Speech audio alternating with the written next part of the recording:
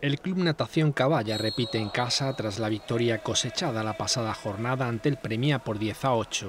Los de Sergio Aguilera recibirán al Montjuïc sexto clasificado que aventaja en 10 puntos al combinado Ceutiques penúltimo con 8 en partido correspondiente a la decimoquinta jornada. El Caballa solo ha ganado dos partidos en lo que va de campeonato de la primera división masculina.